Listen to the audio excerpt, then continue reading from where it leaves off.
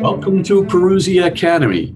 I'm Father Robert Spitzer, the president of the Magis Center of Reason and Faith and a proud partner of Parousia Media.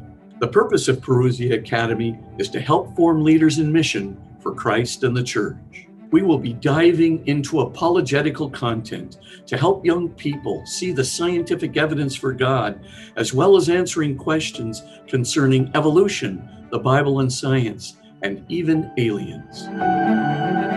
Let's suppose being drawn by the cartoonist isn't going to disprove the existence of the cartoonist. All there is no other image like it in the history of images. Please know that you are in my prayers as you continue your faith journey, and may Almighty God bless you all.